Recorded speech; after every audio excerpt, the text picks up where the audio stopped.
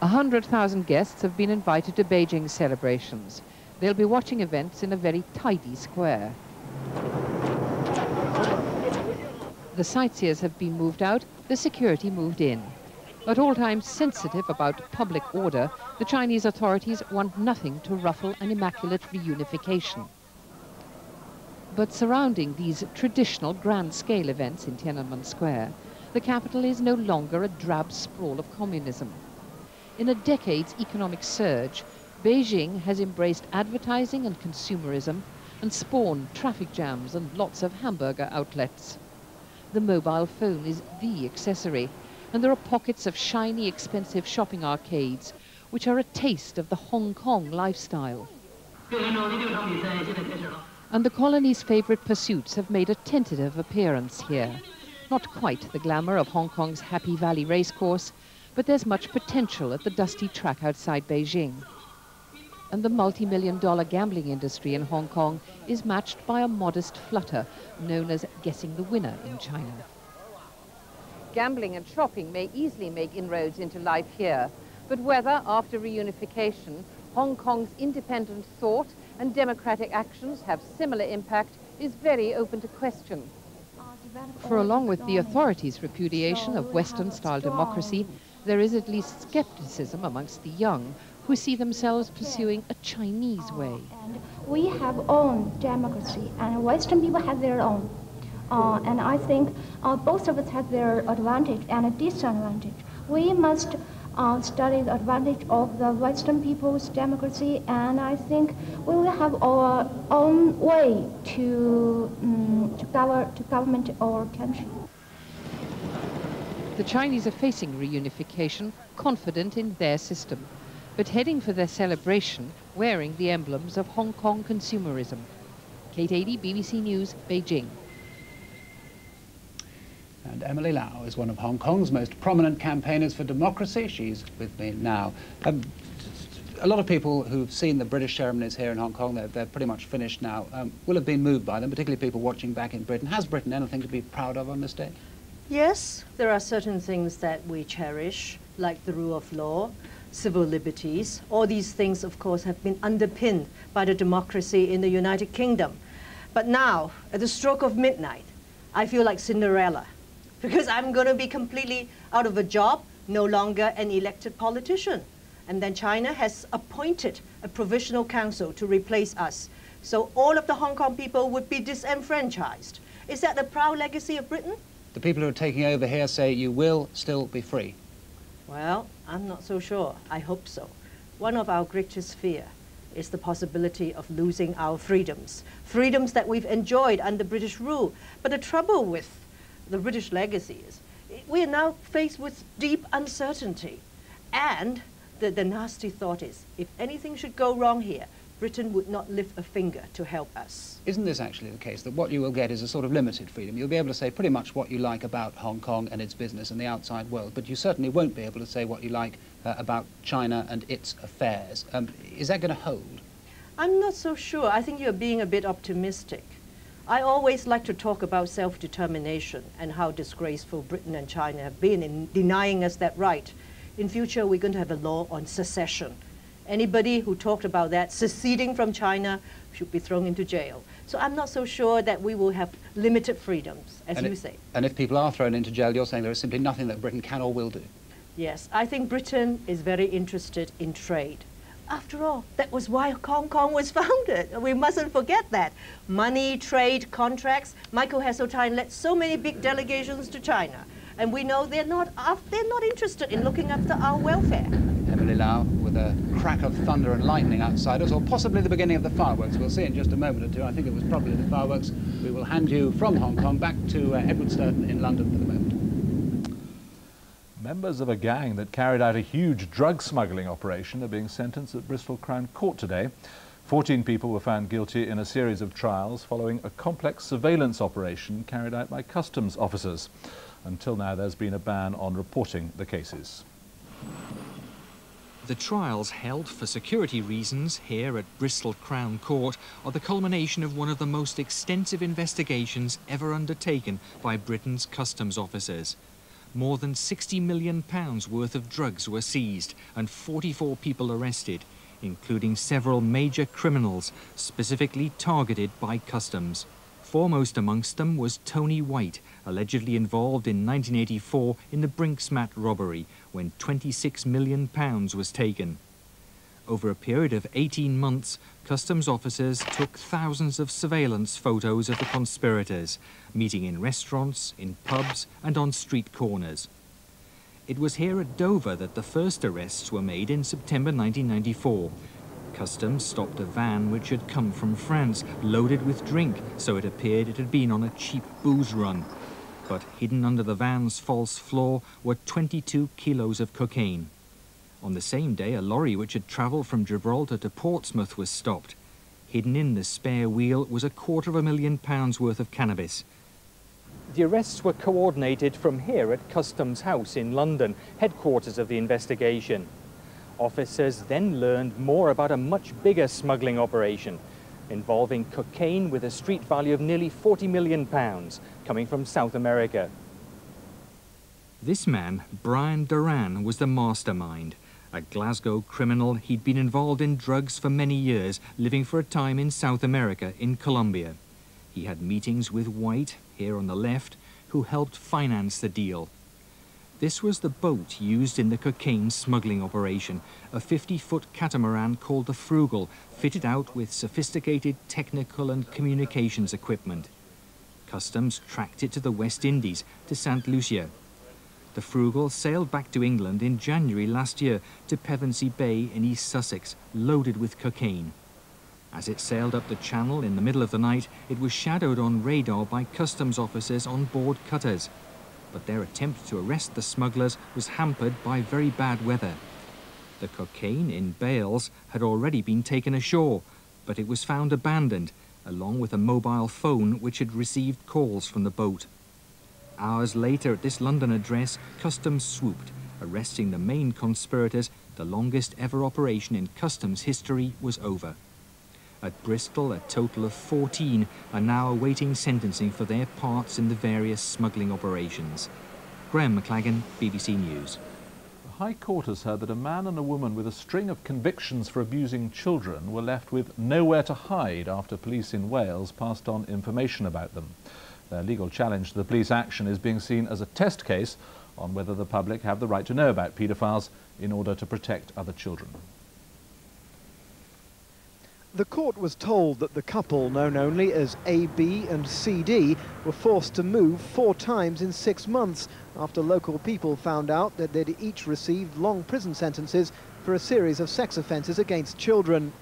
The final move was from a caravan site in North Wales, after the police showed the owner press cuttings relating to their past. They're now living in a lay-by. The couple's lawyers claim that decision by North Wales Police amounted to encouraging harassment and should be declared illegal. Stephen Solley QC, representing the couple, told the Lord Chief Justice the police had come close to turning his clients into outlaws with nowhere to run and nowhere to hide. He argued that just as no one should be above the law, no one should be below it either. It was, said Mr Solley, a misuse of police power, unjustifiable, unreasonable and unlawful. North Wales Police deny they acted unlawfully. The outcome of the case is being watched carefully by the Home Office, which is currently drawing up guidelines on who should have access to information on the new paedophile register. Tim Hirsch, BBC News, at the High Court. The government has confirmed that radioactive waste was dumped in the sea just six miles off the Scottish coast, despite earlier denials. The Minister of Agriculture will tell Parliament tomorrow that low-level waste was dropped in the Beaufort Dyke, which lies between Scotland and Northern Ireland. Off the rugged coast of southwest Scotland, close to busy ferry and shipping lanes, lies the biggest ammunitions dump in Western Europe. More than a million tons of World War II and other weapons have been discarded on the seabed. The government has long insisted that no nuclear arms or waste had been left here too. Today they admitted they were wrong. The dump, six miles off an area of the Scottish coast popular with tourists, is known as Beaufort Dyke. Locals are alarmed at the new discovery. we're absolutely horrified. We already know there was a severe problem with a cocktail of high explosive uh, chemicals and phosphorus down in the Irish Sea in Beaufort's Dyke. Now to capital, we find we've got nuclear waste as well. So the people of southwest Scotland are going to be very concerned indeed about this latest revelation. For years, proof of an ammunition dump has long been clear. Thousands of dangerous incendiaries have been washed up on shore. Now it's emerged the dump included at least two tons of low-level commercial nuclear waste from paints and clocks. The evidence emerged through the discovery of old documents like these, but scientists fear there could be more nuclear waste there. The, the possible implication is that there are still potential areas in the uh, Beaufort's Dyke area which could be contaminated with materials from uh, the dumped ammunition, which the, the results so far haven't shown up. The coast is constantly monitored by naval arms disposal teams. The government says the level of radiation remains low and is not a threat either to people or to fish in the Irish Sea.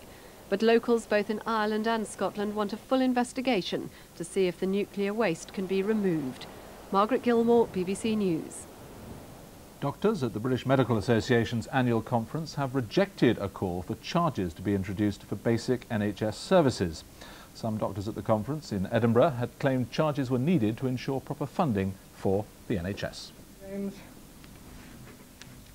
Consultations like this might cost £10 a time if doctors like Jonathan Regler got their way. The Buckinghamshire GP believes patients who can afford it should contribute more to the cost of the NHS. It will make people think twice about whether they really need to go and see their doctor. If they don't need to see their doctor, and they decide that, then it'll mean that the doctor can concentrate on the care of someone who does need their attention. And finally, it will raise money for a cash-strapped service. But in today's debate, the BMA chairman said he was appalled by the thought of charging patients because this would deter them from seeking medical help. We need a strategy to achieve a realistic level of funding for the NHS, which should be provided unequivocally and explicitly from public funds. We welcome the promised review of sources of funding, but we warn against the introduction of new charges. Doctors supported his call for an extra billion pounds a year to be spent on the NHS. But with the government having ruled out income tax increases, they realised they're unlikely to get it. Even so, doctors said charging patients was not the answer. As an inner city GP, I firmly believe that no financial barrier should come between my general medical services and my patients, ever. The message to the government from today's debate was unequivocal. New patient charges would drive a stake through the heart of the NHS, and doctors would fight their introduction all the way. Fergus Walsh, BBC News, Edinburgh. The number two seed, Monica Seles, has been knocked out of the Wimbledon Championships. She's been beaten by France's Sandrine Testud in the third round by two sets to one. Seles, who won the opening set 6-love, then lost the next 6-4 before going down 8-6 in the deciding set. Back now to Hong Kong, where the ceremonies leading up to the transfer of power are in full swing. Justin Webb is there. Edward, I can confirm that the British firework display has well and truly began, begun here. It uh, began about 10 minutes or so ago. There you can see it in all its glory. Firework display in Hong Kong's Western Harbour. Release of energy after a day of uh, solemn and sometimes emotional ceremony. A day of rain-soaked ceremony as well, and you can see the clouds there that the uh, fireworks are illuminating. Now, a small contingent of Chinese troops is already stationed here in Hong Kong, but the first of the larger deployments will come across the border in less than an hour's time. And our correspondent, Jeremy Cooke, is at the border now. Um, Jeremy, tell us what the form is, what is intended to happen. Well, Justin, what I can tell you is that it's happening right now. If you look over my shoulder, you will see the coaches and military vehicles which are carrying the first of these 509 People's Liberation Army troops. They have arrived in Hong Kong. They're going through some formalities here before they move down into the territories, into Hong Kong proper, where they will take up positions in former British barracks. So just to confirm, they have actually arrived slightly early? They have arrived slightly early. Uh, they were expected uh, in around 20 minutes' time, but here they are. Uh, they have crossed I can tell you officially into uh, Hong Kong territory. Uh, that was something uh, which was obviously uh, a point of negotiation uh, between the British and Chinese authorities. The British that had hoped that they would hang back a little bit, but clearly the uh, Chinese authorities have decided that it is time to take up the reins of power, even if it does seem a little early. Now, the commanders of these troops have told them very firmly, haven't they, they that they must behave. They have indeed. They've been on something of a public relations offensive even before they got here, Justin. I mean, they've been learning English. We've seen uh, footage of them uh, in class uh, asking politely each other to show them identification documents, that kind of thing. They have been told to behave. The People's Liberation does have uh, People's Liberation Army does have some reputation for corruption, but we are told these are elite troops and that they will be on their best behaviour in Hong Kong. And they are going straight to barracks. It's not intended that they patrol the streets straight to barracks at the moment. In fact, their future role here is less than certain at the moment. Of course, we have the Hong Kong Police Force, which will continue in its role, but I'm sure we'll see these troops patrolling the border. The Chinese want this to remain a hard border. It is one country, two systems. They don't want those two systems to mix. Jeremy Cooke at the uh, border between China and Hong Kong. Thank you very much. And as the firework display continues behind me, majority of the people of Hong Kong have not, of course, been involved in these official ceremonies, but everyone here is enjoying a five-day public holiday. Our Foreign Affairs correspondent Ben Brown has spent the day with one family determined to mark the occasion. This is a day for the ordinary people of Hong Kong, people like the Chan family, just as much as it's a day for princes, prime ministers and presidents. The Chans took a short ferry ride from Kowloon to the heart of Hong Kong to see all the pomp and pageantry. If there is a typical family here, then it's the Chans. Kwok Kei Chan is a civil engineer, his wife Ming Ching a teacher. Together they earn an average income, they live in an average house. And today they wanted to bring their two children to bear witness to a far from average moment in history, a moment that will change all of their lives today is a historical day. So um, as a parent, uh, I think uh, I bring along my child, uh, children to here to uh, celebrate this great day. Uh, so let them, they will remember this day, uh, the great day of we Chinese. The torrential downpour has somewhat spoilt the Chan's day out, but still they take happy snaps of history and of the last British troops here swimming in the rain. Mrs. Chan was born in China, and so for this family at least, reunification is something to celebrate, not to mourn. I don't think there will be something worse. Uh, and in fact, you can see the China's Chinese leader already promised to keep Hong Kong going, to keep Hong Kong as good as well. So I don't see any problem in the future. Not only rain, but roadblocks too kept the Chan some way from the ceremonials. But what they saw and heard still made their day. Around the world, tens of millions of people are watching this handover on television. The Chan family know how lucky they are to be able to see it for themselves, and they wouldn't have missed it for the world. It is, they say, history right in front of their eyes. Ben Brown, BBC News, Hong Kong. Now, the handover itself will take place at 5 o'clock British time, midnight here, at the newly built convention centre on the harbour front. Asia correspondent Fergal Keane is down there now. Um, Fergal, is this the smooth transfer of power that people hope for? I think it is. I mean, it's certainly a very loud transfer of power at the moment behind me with the fireworks still going on. Uh, so far, though, it has been a day without incidents, and I think everybody, both British and Chinese, will be pleased by that.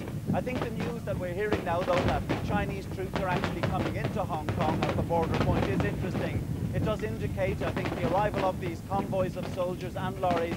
It indicates that China is very determined to stamp its sovereignty on Hong Kong as quickly as possible. It's a very, uh, a very early move in by the PLA. And don't forget that in a few hours more, we're going to see something like 4,000 troops coming in. Presumably, though, the people of Hong Kong will take some satisfaction from the fact that those troops have been warned very severely by their commanders that they must behave. I think that's right. And I think, you know, there are a vast amount of foreign journalists here, cameras at the moment. The Chinese won't want incidents happening in front of them. Uh, the great feeling, I think, here today is one of celebration. I mean, you can, uh, you can feel it. It's palpable here on the harbour front with the fireworks going off behind me. Also, I should say, a sense for British people of echoes of greatness past. Um, are we going to see in the immediate future, do you think, any kind of challenge um, from those who want a greater degree of democracy here, for those who've been campaigning for democracy? Any kind of challenge to the new authorities? I think the challenge will start at midnight when people uh, occupy the Legislative Council building to make a protest. That's definitely going to happen. I think, though, that the possibility of a massive Tiananmen Square-style protest is at the moment unlikely. It all depends how the Chinese handle things. If they're sensible, if they allow democracy to go ahead, then there won't be problems. But if they clamp down, the Chinese people in Hong Kong won't accept that. Um, there have been diplomatic kerfuffles, there have been last-minute toing and froing. There's been a feeling that um, this, that the ceremonies this evening might be boycotted, that there might be difficulties. At the end of the day, uh, just to confirm in the, in the last few moments of the programme, that it looks as if the ceremonies this evening are going to go off pretty much uh, as planned. They will. I mean, look, there will be a, a, a marginal British boycott, a token boycott by uh, ministers, but the general feeling is that everybody wants to make this work. And Britain's Foreign Secretary Robin Cook said, we need a stable relationship with China. That's the message of the day. Fergal Keane down there by the Western Harbour. Thank you very much. And that is just about all we have time for from both uh, London and from Hong Kong. Goodbye.